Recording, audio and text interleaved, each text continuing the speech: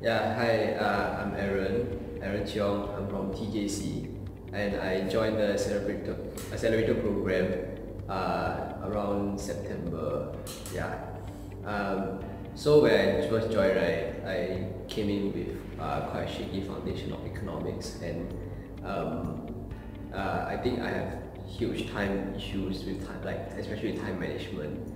And even when I was able to somehow get my work uh, going on, right, I I think that sometimes I'm unable to like uh, uh, understand and apply the content that I've learned into the question, and there's not a uh, structure for me to follow as well, especially in essays.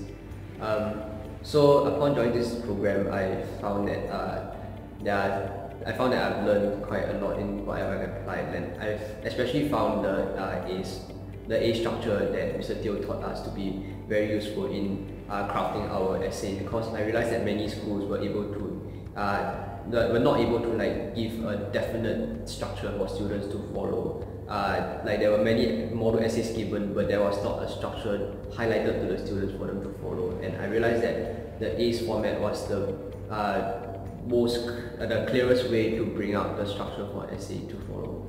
I also think that in the program it trained me a lot in time discipline because uh, Mr. Teo would uh, ask us to draw timelines and to strictly adhere to the timing in the in uh, doing our time exercises and I find that to be very useful in uh, instilling discipline in my work and to follow a strict timing which will be very important for me in exams.